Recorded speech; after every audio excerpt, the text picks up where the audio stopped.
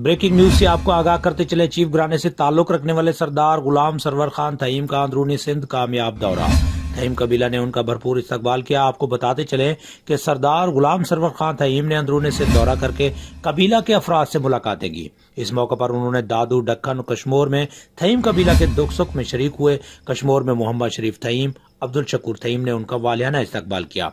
इस मौके पर बरादरी के रहनुमाओं ने उन्हें रिवायती अजरक भी पहनाई। इस दौरान कबीला के सरदार ने बरादरी के हर दुख सुख में साथ निभाने और एक दूसरे का मुआवन और मददगार रहने पर ज़ोर दिया। उन्होंने कहा कि बहुत जल्द सिलसिलावार मैगजीन अल तमीम इंटरनेशनल शाया करेंगे, जो पूरी दुनिया में मुकीम थीम बरादरी की आवाज़ बनेगा।